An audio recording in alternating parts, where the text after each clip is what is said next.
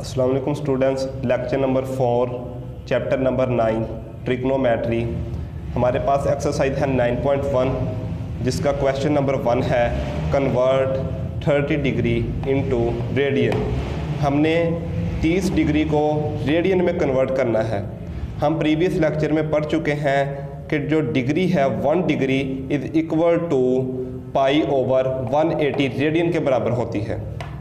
अब अगर हम इस सवाल को हल करते हैं, सबसे पहले हम इसे अटैम्प्ट करने का तरीका देखते हैं। इसे लिखना है सॉल्यूशन फिर से 30 डिग्री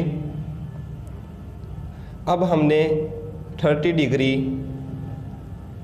30 मल्टीप्लाई वन डिग्री हमने डिग्री को, बस हमने सिर्फ़ यही किया है काम कि हमने डिग्री को 30 से अलहदा कर दिया है 30 से हमने डिग्री को अलहदा कर दिया है। अगर हम वन को फिर से 30 के साथ मल्टीप्लाई करते हैं, हमारे पास यही वैल्यू बन जाती है।